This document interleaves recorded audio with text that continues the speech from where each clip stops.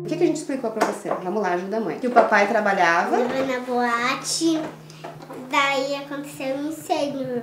Daí ele queria salvar os amigos, daí tinha borracha no teto.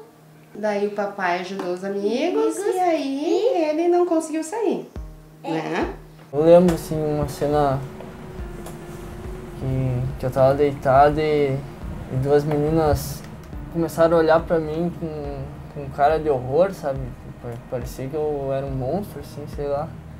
Mas, mas eu não tinha noção do, do meu estado que eu tava. E eu só pensava por, por que, que, que elas estão agindo assim, né? Me olhando e. E daí eu. Eu levantei os braços assim e vi que tava Tava, tu, tava torcido, assim, tava. E tentei me levantar e não conseguia. Eu sei que hum, pessoas assim com vida em torno de 15. Aí depois chegou um ponto que que só cadáver estava tirando, né? Aí eu tive que parar, porque não tinha mais o que fazer.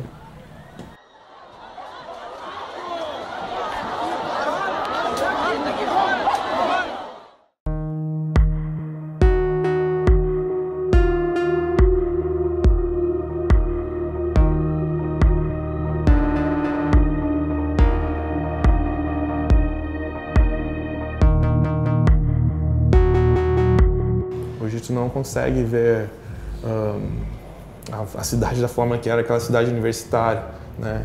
Onde todo mundo vivia feliz pra cá e acontecia festas universitárias ao monte, tudo que é lugar, sabe? Não acontece, né? Então parece que a gente continua vivendo a tragédia, sabe?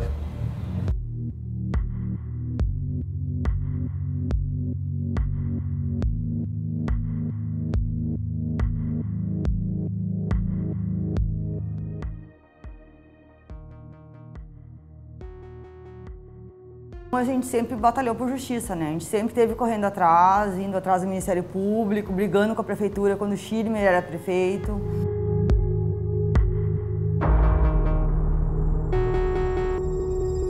Nós fomos a- ao procurador da, da, da República, lá, o, o na época. Ele abriu um processo para ver a atuação do Ministério Público aqui. Só que nós não temos resposta até hoje. Fomos na, na Carmen Lúcia denunciar, tá? e nós fizemos a denúncia na Corte Internacional de Direitos Humanos. Entendeu? Então, no- então, na questão da justiça, o que a gente pode fazer como cidadão, nós fizemos. A outra é rezar, que a gente faz todo dia, né? Rezar para que se tome responsabilidade disso tudo. Que até então nós não tivemos nada.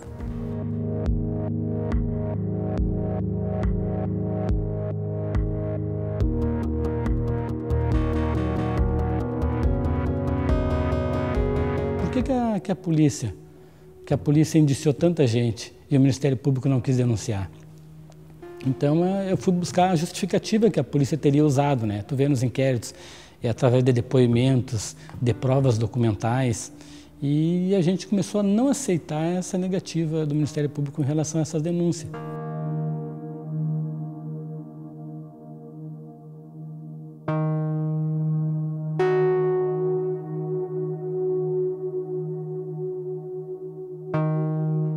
Isso para mim é muito revoltante, sabe? Eu, eu, eu, eu não aceito isso, assim, de. Como a polícia, né, indiciou 28 e só quatro. Porque se tu for analisar o processo, ler tudo, cada um tem a sua participação de culpa. Cada um.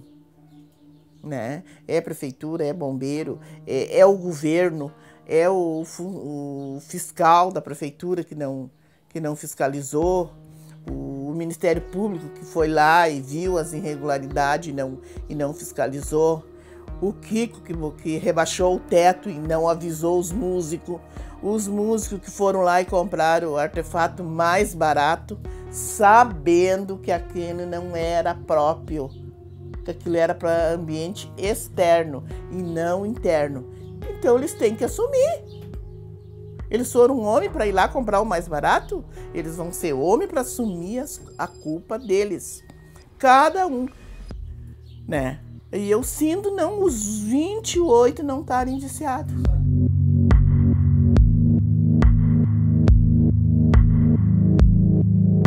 Quanto a essa questão de ter havido uma dissonância entre os números de indiciados e denúncia e agora a condenação, na verdade, cada ator social tem o seu papel. Né?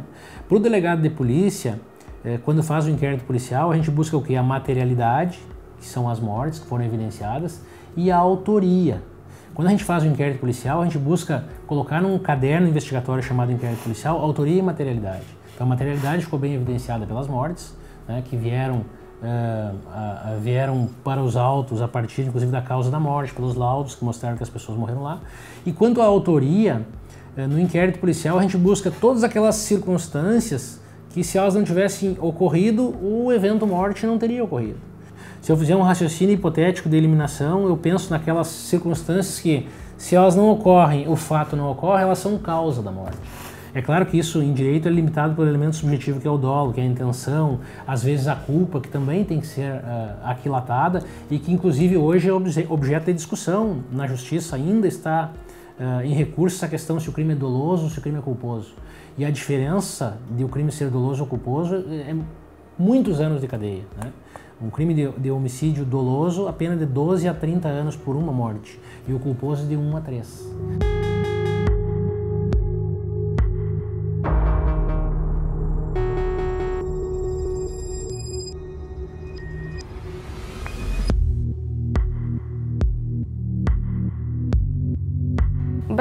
Brasil, né? Tá do jeito que tá e eu nunca entendi muito de política, nunca me interessei muito também, mas a gente sabe que tem coisas que vão ficar do jeito que tá e não vai passar o tempo que for, que vai ser aquilo ali. E como eu disse, não vai trazer ninguém de volta, então não adianta estar tá querendo condenar um, querendo condenar outro, condenar no sentido de, ah, ele merece morrer, como eu já ouvi falar, né? Eu acho que não adianta isso. Não, vai ser só mais um que morreu e não vai voltar. E ele, e ele morrendo não vai trazer, eles ou ele morrendo não vai trazer ninguém de volta. Agora, se vai dar alguma coisa, só Deus que sabe, não, não sei. Nós, estamos, nós trabalhamos tudo para que se dê alguma coisa, dê uma responsabilidade, pelo menos para envolver essas pessoas todas. Porque para eles, 242 é como se fosse um, e é indiferente para eles, dá aquela grande repercussão no início e depois se, se acaba. As pessoas vão se acalmando e a vida continua. Quem perdeu mesmo foi quem morreu e as famílias que sofrem com, esse, com, esse, com essa perda, né? porque para os pais e para as mães a perda é, é eterna. É tanta injustiça que a gente viu, que a gente foi taxado de louco, a gente tinha que esperar. A gente foi enganado pelo Ministério Público, começando por aí, que a gente foi enganado pelo Ministério Público, que dizia que tudo ia se resolver, botava panos quentes em cima de nós, mandava nós ficar quietos, para depois a gente descobrir que o grande culpado era o Ministério Público, porque foi o promotor Ricardo Loza que deixou a boate aberta. Ele fez um termo de ajustamento de conduta que deixava a boate aberta, permitindo aos donos da boate que funcionassem. Então, não foi nem a prefeitura o maior culpado que a gente achava na época, mas foi sim o Ministério Público.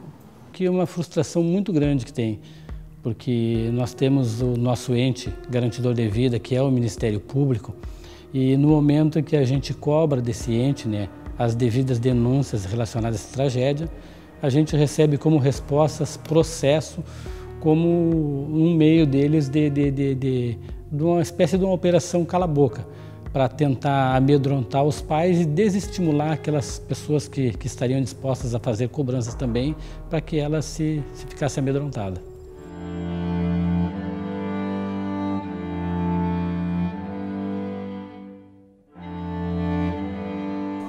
Ter perdido a filha da forma que eu perdi. E está sendo tratado pela, pela, pelo Poder Judiciário da forma que nós estamos, né? ignorados e eles fazendo os olhos grossos para muita, vista grossa para muita coisa, cadeia de forma alguma vai me atingir. Então, eu só penso assim, se um dia eu for condenado, for realmente mandado para a prisão, porque você sabe que o sistema prisional hoje é uma faculdade para quem quer aprender tudo que tem de mal. Então, eu tenho certeza que haveria uma grande transformação E se um dia eu saísse de lá, aí eu tentaria fazer a coisa de outros modos, né? A justiça vai ser feita. Isso aí é uma coisa que não tem de onde correr. Vai ser feita de um jeito ou de outro, isso daí já não tem mais nem que fazer. De um jeito vai ser feita. Se não vai ser feita por mãos de, de justiça, vai ser feita por mãos de pais ou mães, entendeu? Não é uma mãe que põe um filho, passa nove meses com um filho na barriga para depois perder dessa forma, criar por 18 anos, para botar ele numa ratoeira para matarem. Não vai ser, não vai ser assim que vai acontecer, não vai ser assim mesmo.